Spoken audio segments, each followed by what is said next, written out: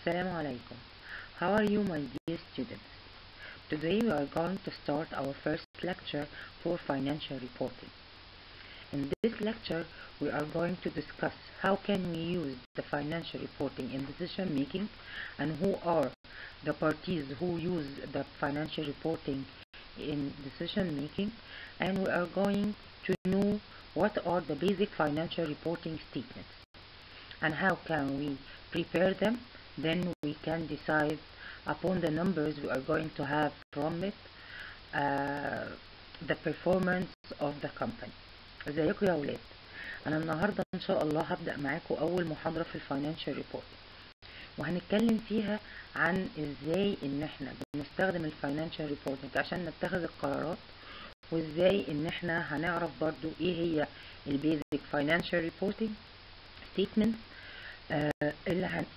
اللي هنقدر نستخدمها ومن خلالها نقدر على الأرقام اللي هتطلع لنا إن إحنا نحدد الأداء وال performance بتاع الشركة بتاعتنا. خلونا نبدأ.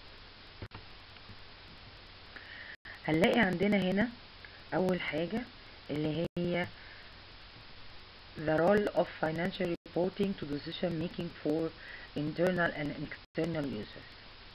عندنا اللي هم internal users وعندنا external users. عندنا internal users ثلاثة ال management وال employees وال owners وبعد كده عندنا في ال external users عندنا ال creditors والتاكس اوثوريتي والانفسترز والكاستمرز والريجولاتي اوثوريتيز طيب خلينا نبدا في ال management ال management uh, they use the financial reporting for analyzing the organization's performance and position and taking appropriate measures to improve the company results يعني إيه يعني ان الشركة الادارة بتستخدم ال financial reporting دي علشان ان هي تبدأ تعمل analyzing للperformance للأداء بتاع الشركة وتشوف هل ال ال في improvement في ال company result ولا لا. وطبعا ده عن طريق إن هي بتقارن ما بين ال results اللي فاتت وال results بتاعت السنة. دي employees for assessing company's profitability and its consequence on their future remuneration and job security. هما بيشوفوا هنا الأداء الربحي بتاع الشركة وعلى اساسه يبدأوا يحددوا هل الوظيفة دي هيكملوا فيها ولا لأ. هل الوظيفة دي سيف ليهم إن هم الشركة بتعمل أداء كويس يقدروا يكملوا فيها ولا لأ. آخر حد اللي هم ال owners. For analyzing the viability and profitability of their investment. هم عايزين يشوفوا ال investment ديت بتعمل ربحية ولا لأ. هل المشروع ده شغال؟ هل في صح؟ هل في غلط؟ وهكذا. ال external users عندنا ال creditors أول ناس. مين ال creditors ال creditors دول اللي بيسلفوا الشركة بتاعتي. الكريديتورز من مصلحتهم إن تبقى الشركة البرفورمانس بتاعها كويس علشان يضمنوا إن الناس دي هتسد لهم الفلوس. فقال لي for determining the credit worthiness of the organization. Terms of credit are set by creditors according to the assessment of their customers financial health.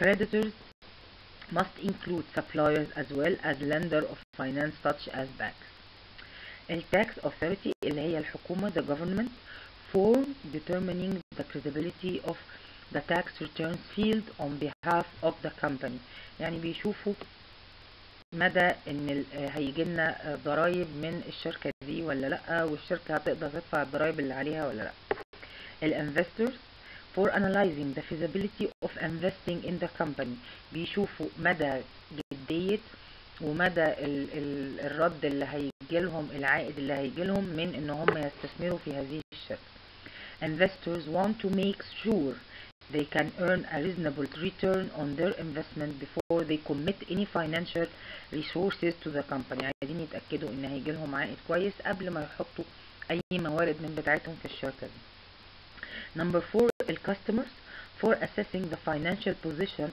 of its suppliers which is necessary for them to maintain a stable source of supply in the long term. ال customers عايزة تتأكد ان هم. دلوقتي أنا اشتري حاجة معينة منتج معين. أنا عايزة أتأكد إن المنتج دوت هيفضل موجود وهيفضل إن هو يعني يبقى موجود في السوق أقدر أشتريه. طب ده هعرفه عن طريق إيه عن مدى ال stability بتاعة ال financial position بتاع الشركة اخر حاجة الريجولاتي authorities اللي هي government for ensuring the, the company's disclosure of accounting information is in accordance with the rules and regulations set in order to protect the interests of the stakeholders who rely on such information them their decisions. الحكومة عايزة تتأكد إن الشركة بتعمل إفصاح عن المعلومات المحاسبية بطريقة صح. According للقواعد والقوانين اللي موجودة في البلد ودوت هيقدر يعمل protection يحافظ على أعضاء مجلس الإدارة وال investors كل الناس ديت إن هم يقدروا يعملوا decision صح يعني باستخدام المعلومات اللي عندهم اول حاجة هنبدأ فيها البيزك financial statement البيزك financial statement إحنا عندنا الانكم statement is also called as profit and loss account which reflects the operational position of the firm during a particular period normally it consists of one accounting year it determines the entire operational performance of the concern like total revenue generated and expenses incurred for earning that revenue. Income statement helps to ascertain the gross profit and net profit of the concern. Gross profit is determined by preparation of trading or manufacturing and net profit is determined by preparation of profit and loss. هو هنا بيكلمني على اول حاجة في الفاينانشال ستيتمنت اللي هي الانكم ستيتمنت والانكم ستيتمنت ممكن برضو نسميها ال profit and loss account وهي اللي بتعكس لي العمليات آه ويعني ال position بتاع العمليات خلال فترة معينة. وعادة طبعا بتبقى الفترة دي زي ما إحنا عايزين بتبقى السنة عارفين بتبقى سنة مالية.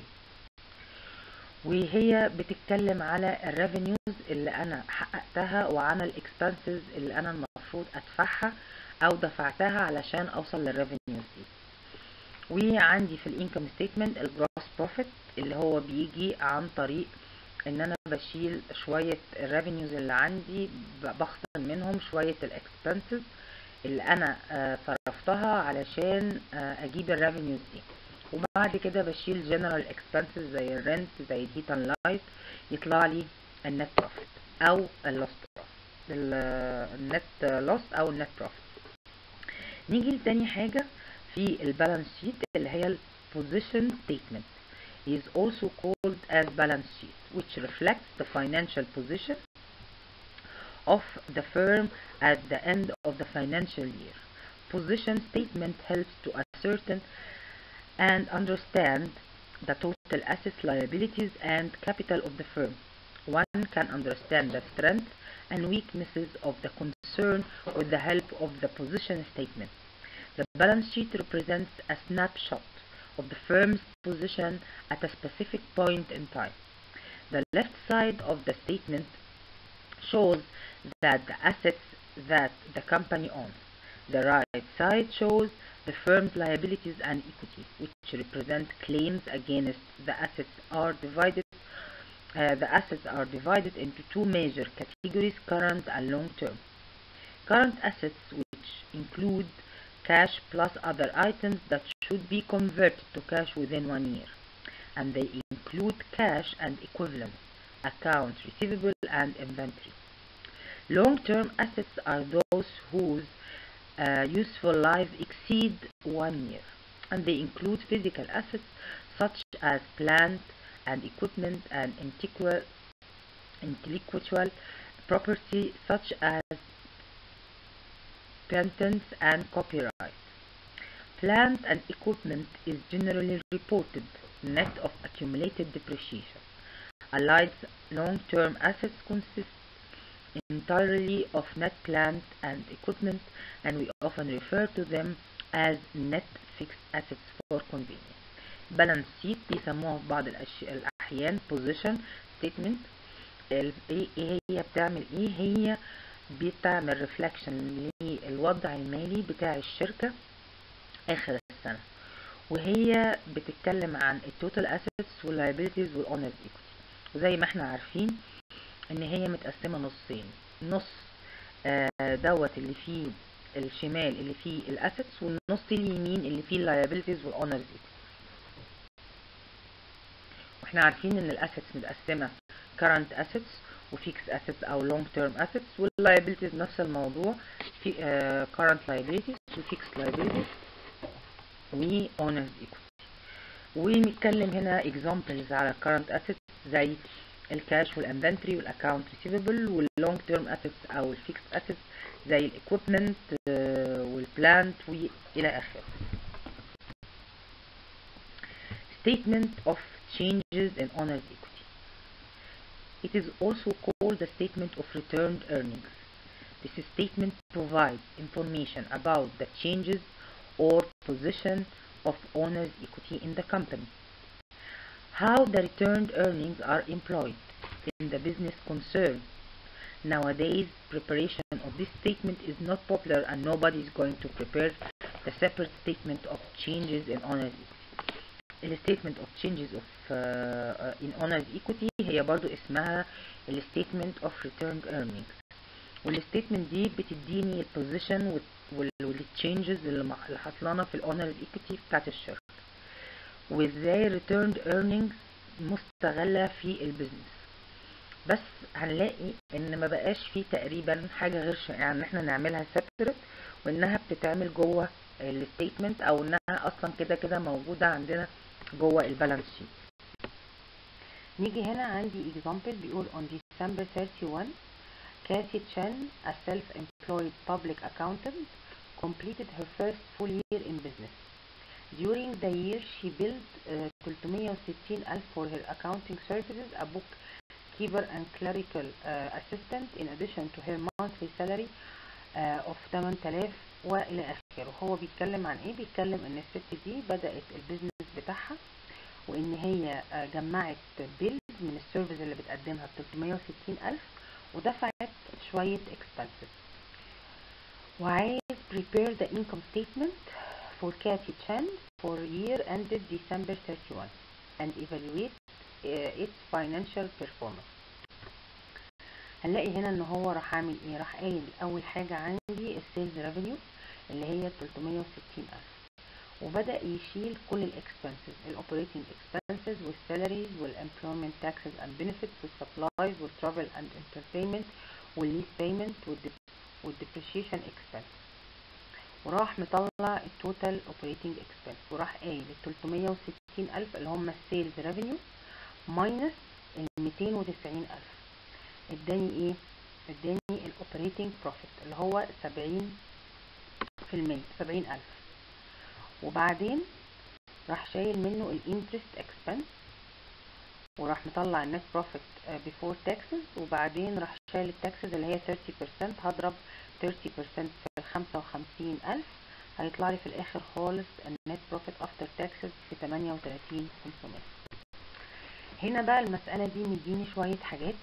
مديني net profit before taxes مديني ال taxes مديني إن هو لازم يدفع preferred stock ب 32000 before distributing ال earnings بتاعة ال 85000 share وعايز مني حاجتين اول حاجة ال earning per share وتاني حاجة عايز يعرف لو ال firm paid common stock dividend of 0.8 per share هيدفع يعني how many dollars would go to the retained earnings فأول حاجة عندنا هنا هنطلع ال earning per share اللي هي هنطلع أول حاجة ال earnings available to common stockholders. هنقول ال net profit before taxes اللي هو مديهوني.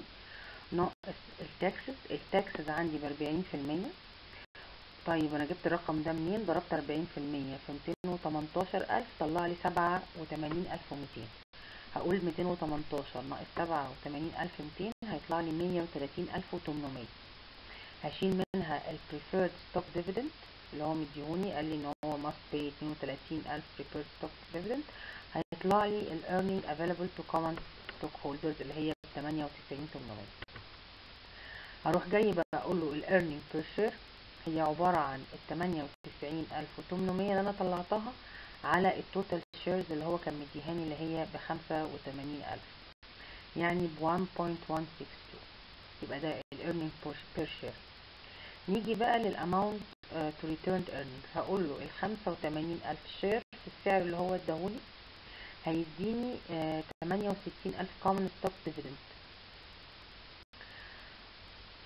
وبعدين هقول له إن ال earning available to common stock هشيل منها ال common stock dividend يطلع لي ال retained earning يبقى أنا الأول هطلع